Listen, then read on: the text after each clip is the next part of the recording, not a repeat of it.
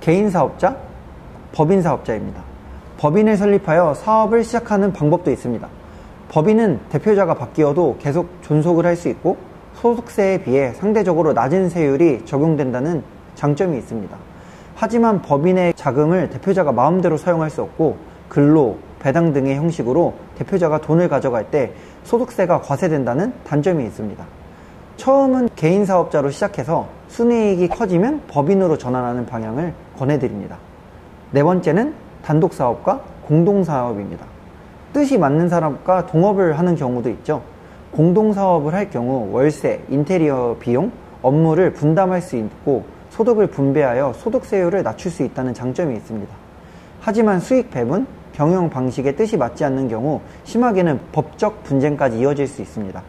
따라서 공동사업을 계획하고 계신다면 꼭 공동사업 계약서를 작성하여 소득 분배, 업무 내용 등을 구체적으로 명문화 하시는 게 좋습니다. 서로 정이 없어 보일 수 있지만 사업은 엄밀히 현실이니까요.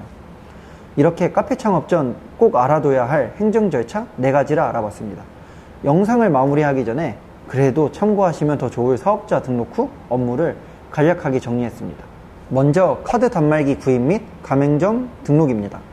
사업자 등록증 번호가 나왔다면 결제했을 카드 단말기를 구입해야 합니다.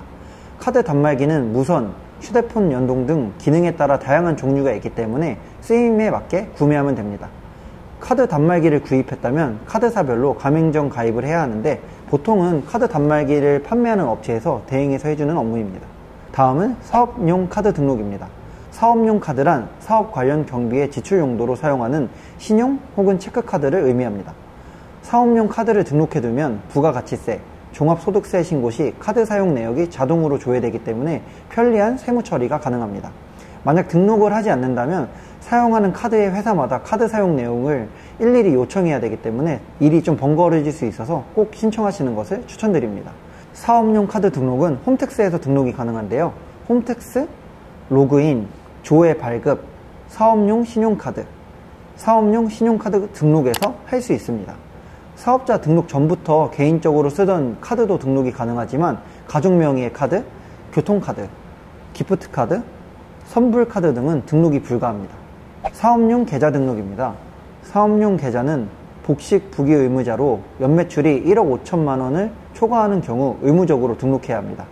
미등록 시 0.2%의 가산세가 부과되기 때문에 미리 등록하는 것이 좋습니다. 사업자 등록 전 개인 명의로 사용해오던 계좌 등록도 가능합니다. 등록은 마찬가지로 홈택스에서 가능하고요. 홈택스, 로그인, 신고 납부, 사업용 계좌 개설에서 가능이 가능합니다. 마지막으로 4대 보험 성립 신고입니다. 근로자를 고용할 땐 공단에 4대 보험 성립 신고를 해야 하죠. 4대 보험 성립 신고는 4대 사회 보험 정보 연계센터에서 신청하거나 관할 공단에 팩스를 보내는 방법이 있습니다. 팩스로 신고할 경우에는 국민연금공단, 국민건강보험공단 중 한 곳에서만 송부하면 모든 공단에 자동으로 성립신고가 되기 때문에 공단별로 팩스를 보낼 필요가 없습니다. 이로써 행정 절차에 대한 전반적인 내용을 알아봤습니다. 카페 창업이라는 것이 보기보다 되게 복잡한 일이죠.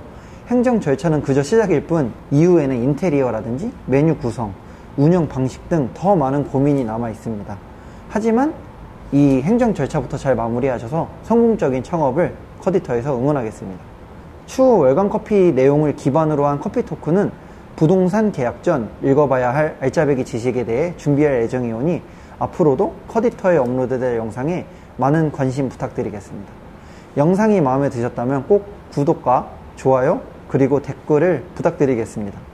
참고로 2022년 월간 커피 1호로 카페 창업 스페셜 에디션은 과어로로 온라인 커피 플랫폼 더컵에서 구매가 가능하오니 더 다양한 콘텐츠가 궁금하다면 월간 커피를 구매하시거나 정기 구독을 추천드리겠습니다. 사이트 관련된 내용은 영상 하단의 설명란에 있으니까 참고 부탁드리겠습니다.